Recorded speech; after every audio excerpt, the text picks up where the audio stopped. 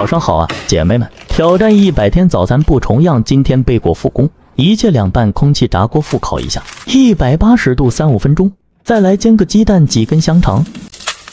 复烤完的贝果外脆里韧，想试试用奶油酸奶代替奶酪，比起想象中稀好多。下次还是别偷懒，自己过滤个希腊酸奶。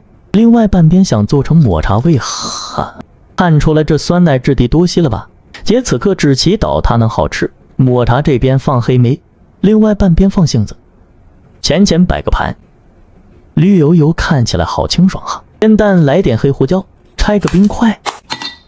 不知道喝啥的时候来杯生椰拿铁吧。多冰块后椰乳八分满。先来炫根小香肠，水果配你喜欢的都行。这颜色姐真的爱了，还怪好吃的。别专心干饭了，八八六。